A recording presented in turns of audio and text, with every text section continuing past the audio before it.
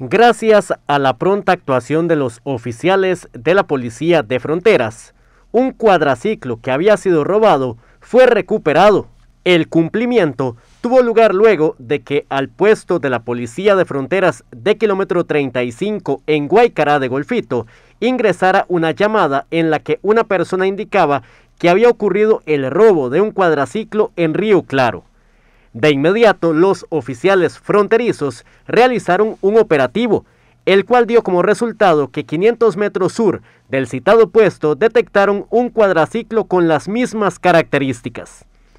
El vehículo aún estaba encendido y dentro de una cuneta, por lo que de inmediato los oficiales actuantes coordinaron con el OIJ y la Fiscalía de Golfito.